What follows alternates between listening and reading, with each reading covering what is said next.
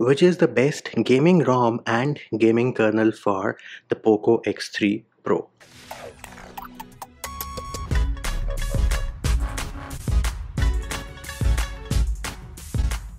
Hey peeps, what's up? Munchy here, back with another video and in this video I'm going to tell you which is the best gaming ROM and gaming kernel for the POCO X3 Pro. Now, when I tell you that this is the best, I'm pretty sure you're going to laugh at me, but I am going to give you valid reasons. So in my humble opinion, the best gaming ROM for the POCO X3 Pro along with the best gaming kernel is MIUI. And let me explain why? For starters, you get something called Game Turbo. Now, at the time of recording this video, I am running Game Turbo 4.0. Again, this is Game Turbo 4.0, which has been released only in China for now, and it might come with MIUI 13, but you can install this on MIUI 12 and MIUI 12.5 without having to root your device and of course the video for that can be found in the description of this video. So first of all let us look at the features of this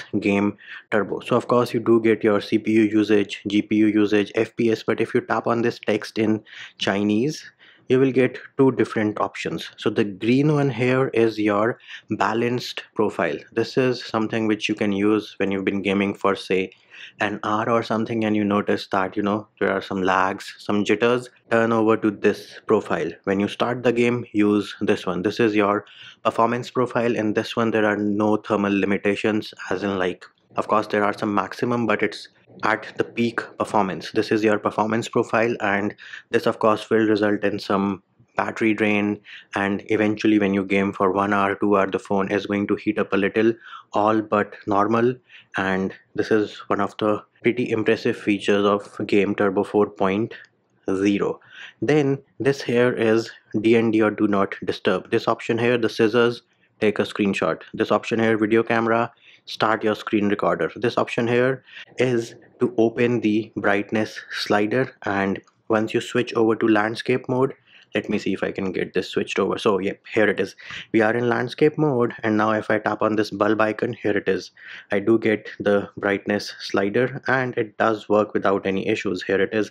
You can see it is working. Then the next option you have here is to turn off your Wi-Fi switch between the different data cards cast the gameplay turn off the screen you know you're playing game mom and dad come inside the room turn off the screen right away. Oh I was not playing any game you know.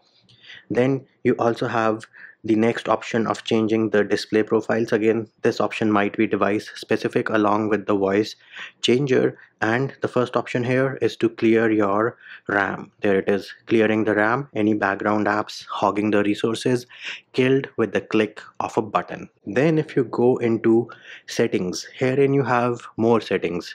For starters master toggle for game turbo in-game shortcuts right homepage orientation homepage shortcut. Forget these. Performance mode. Performance mode one more time. Wi-Fi optimization present. Optimized touch controls present. Enhanced audio present. Then more performance optimization. The master toggle for that right? Avoid overheating and hardware related issues. You can do this as well. Memory exceptions. So let us say talk to your girlfriend talk to your boyfriend while gaming in floating window make sure you add that application over here. So let us say you can always add your whatsapp or say facebook facebook messenger and when you clear the ram the application will not be killed. So you will still get messages from your girlfriend or your boyfriend if applicable. Then you also have game dnd mode. You can enhance the experience. So turn off auto brightness option there. Turn off reading mode option is there. Restrict the screenshot gesture option is there. This is one of the most common issues when you're gaming with the claw setup right? Screenshot or your notification shade opens. Again another very common issue. So you can disable all these options. Then you can also restrict buttons and gestures. Go into additional settings and you can configure your touch response your sensitivity your touch resistant area and your display enhanced visuals on a per game basis. Tell me which custom ROM out there which is based on AOSP gives you all these features? My answer is I don't think so. There is any AOSP ROM which gives you so many features with respect to gaming. I mean the optimization you can do over here the boundaries are endless if you know what you are doing. Another thing most custom ROMs which are based on AOSP, the developers never claim we made this ROM for gaming. And worst part, they have become so irritated with YouTubers selling custom ROMs as gaming ROMs that now if you go to a telegram channel of a custom ROM or a telegram group and you ask about gaming, some of them give you a free warning, some of them ban you outright. They've become so frustrated, right? And why? Because YouTubers, for views, for clicks, they sell you custom ROMs as gaming ROMs. Whereas the person who created the ROM, they themselves say, we did not create this for gaming. MIUI is giving you a bunch of features, but just because somebody out there sold you a custom ROM as a gaming ROM, you believe him, you believe them, your personal preference. Next up let us go into settings and about phone all the specs. The kernel here is already perf kernel. This means the kernel which is present in MIUI is already a performance based kernel. And the biggest proof of this is the fact that people who make gaming ROMs which are based on MIUI, right? They take the base either as Xiaomi EU or there is this another ROM which says we are the best and we are on the top of everything. We are the best gaming ROM out there. They use perf kernel. Why? Because you already have a pretty dope kernel baked in. Pretty simple. And what do these MIUI based custom ROMs do? For starters, I will tell you their model. Their model is to give you free stuff which looks good and then try to sell you a paid ROM. That is what their business model is because if you have a look at their change log two things they do deodex and debloat. Rest of the things visual changes. We added what? Four charging animations. How the hell on earth is that affected to my gaming? I don't know. I, I don't get it. We changed this toggle. How is that related to my gaming? I personally do not get it. Debloat. Let us talk about debloat first. So what is debloat? Debloat is basically you're removing the application hoping that it won't run in the background. But captain obvious which is why you have the clear all button in your game booster or your game turbo right? It kills all the applications in the background. That is one thing.